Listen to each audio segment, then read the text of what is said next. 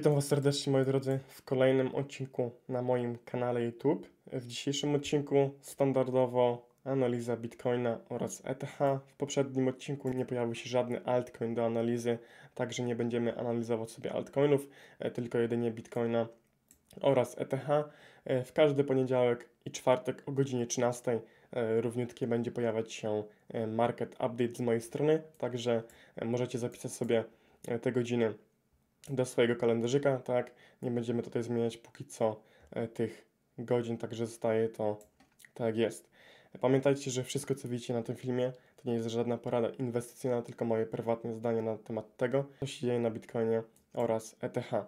E, W komentarzu e, macie grupkę na Telegramie, w której wrzucam wszystkie analizy, czyli czarty.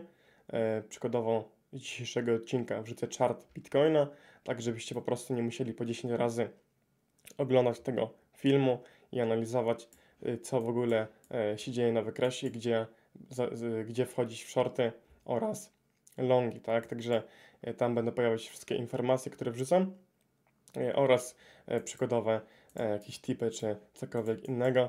No i również pojawił się reflink z mojej strony z giełdy BitGet, ponieważ zrezygnowałem z giełdy Binance. Uważam, że ta giełda jest e, po prostu e, najgorszą z e, możliwych póki co.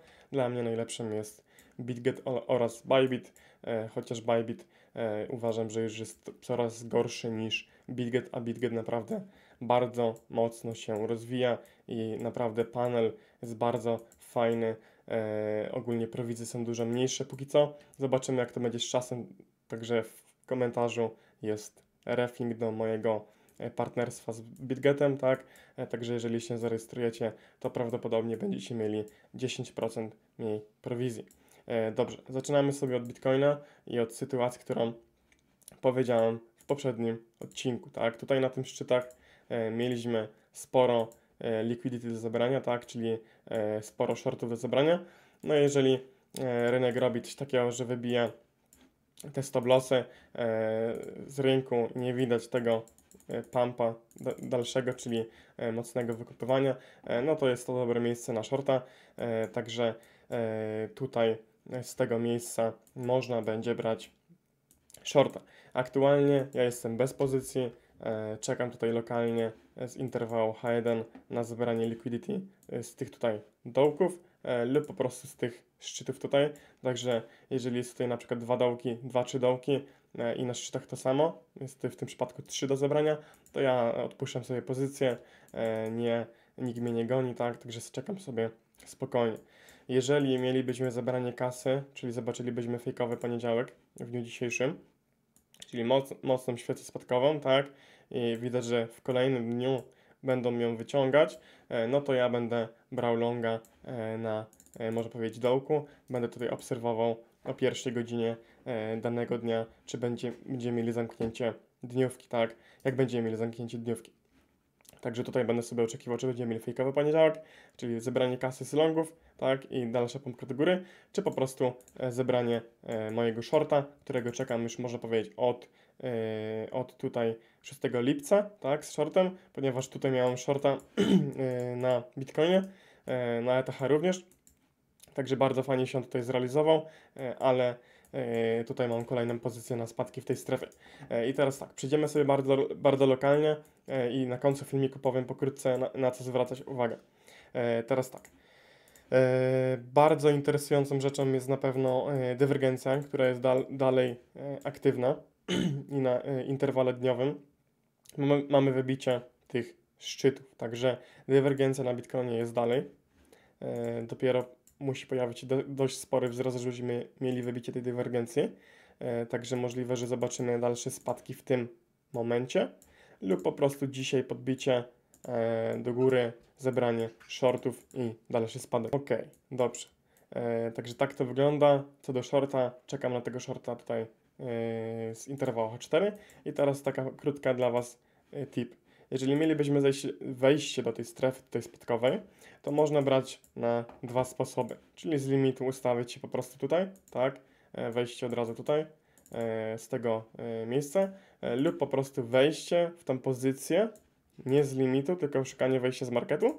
I jeżeli wejdziemy tutaj na interwał M30, e, będziemy zmierzać sobie do tej strefy, no i na przykład będziemy mieli tutaj podbicie i struktura będzie się zmieniać, czyli ze struktury spadkowej na e, przepraszam, ze struktury e, wzrostowej na strukturę spadkową, no to w tym momencie tutaj można ładować shorta dla potwierdzenia. Jeżeli ktoś nie chce zbierać z marketu i ma więcej czasu e, po prostu na szukanie pozycji, no to tutaj wejście po prostu z marketu przy złamaniu trendu minimum na interwale M30 lub po prostu H1 wzwyż, tak, z interwału, e, szukać sobie tutaj shorta. Jeżeli po prostu zamkniemy się powyżej e, 30 900 gdzieś, tak, czyli złamiemy, złamiemy trend z interwału H4, tak, czyli będzie dalej kontynuacja tego wzrostu, no to ja będę tutaj pomału się ewakuował z pozycji lub patrzył, czy te knoty są mocno zbijane od góry.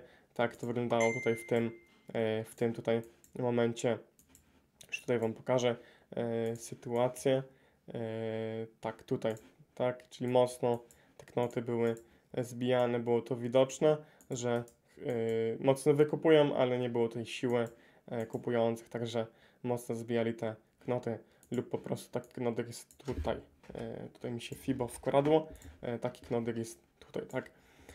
Także tak to wygląda na Bitcoinie. Strefa na wzrosty z tego zielone, zielonego boksa, wsparcie z interwału dniowego plus po prostu MK, e, MK e, 50, tak, e, oraz MK 200 z interwału H4, także tutaj jest blisko tej strefki na wzrosty po, po prostu pod MK, także tutaj myślę, że będziemy mieli zejście lub po prostu jakiś spadek, tak, zbudujemy sobie płynność, tutaj jakiś spadek, tak, wybicie i kontynuacja wzrostu, także zobaczymy jaka będzie reakcja po zejściu do tej strefy, czy będzie po prostu szybki strzał i wyciąganie, e, ale tutaj bardziej bym e, widział, że po prostu będą sobie powolutku tutaj e, konsolidować.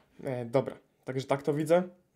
Strefy spadkowa, tutaj w tym momencie, tak, strefa wzrostowa, strefa wzrostowa, no i strefa spadkowa. Także zobaczymy, jak to wszystko się tutaj wydarzy na Bitcoinie.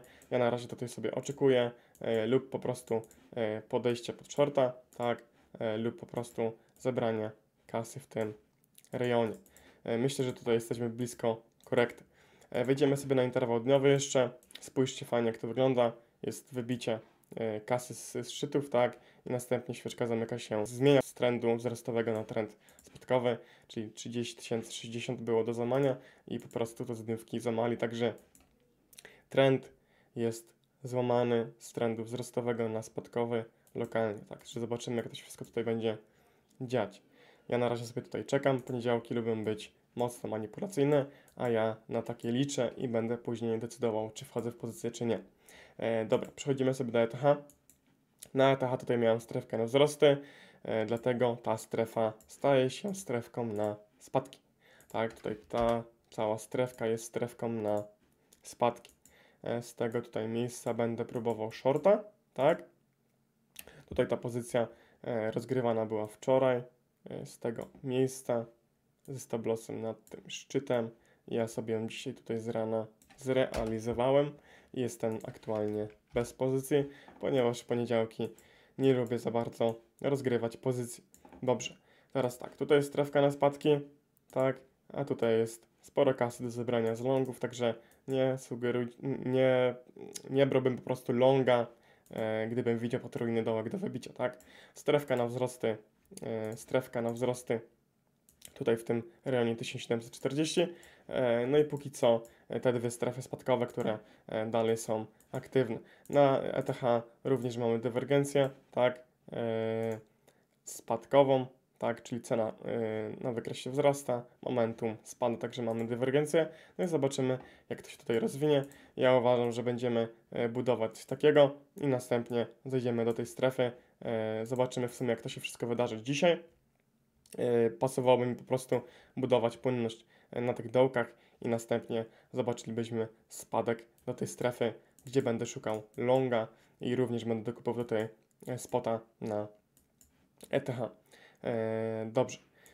Także tak to widzę na Bitcoinie oraz ETH. Myślę, że tutaj nie ma trudnych rzeczy, także oczekujemy sobie wejścia w pozycję na ETH oraz Bitcoinie. E, I również tutaj podam Wam jeszcze jedną pozycję e, BNB. E, Tak tutaj. E, O, na BNB prawie zapało mi pozycję. E, Zbudowali sobie tutaj fajnie liquidity, tak? E, Kaskę.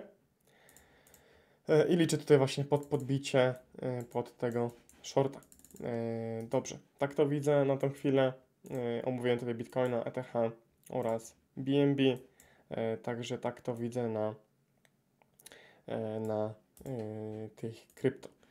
E, Póki co e, tak to wszystko będzie się, tak to wszystko po prostu wygląda E, i myślę, że jesteśmy blisko, myślę, że jesteśmy blisko korekty. E, Dobrze. Zachęcam Was do zostawienia łapki w górę, komentarza oraz subskrypcji. Pomoże mi to w rozwoju mojego kanału, za co bardzo dziękuję.